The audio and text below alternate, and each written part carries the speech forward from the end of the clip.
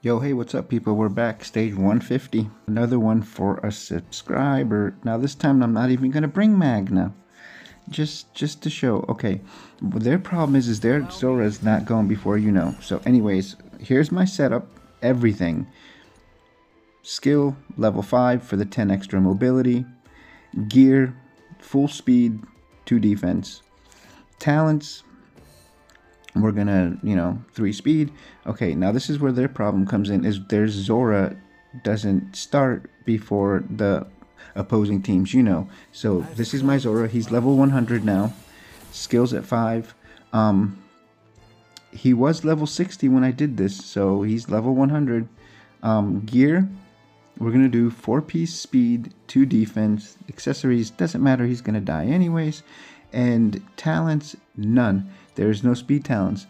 Now, if your Zora isn't going before Yuno for some ungodly reason, which I don't understand why that would happen, throw a 3 speed in him, and that should give him extra speed. There's Licht, no talents, just some some crappy magic gear, and we're gonna get into the stage. Here we go. And this should be pretty easy.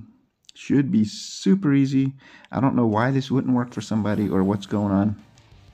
But hey, I'm happy. Everybody gets one. Skill 2, on to Zora. Zora should go. There we go. There's Zora. Zora's ultimate on Licht.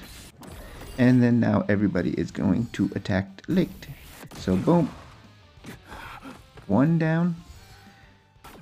Boom. That should be two down. And then three down. Right? There we go. And then the final, final one. There we go.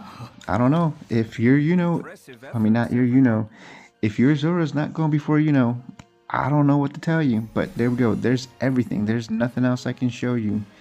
Take it easy, everybody. Peace.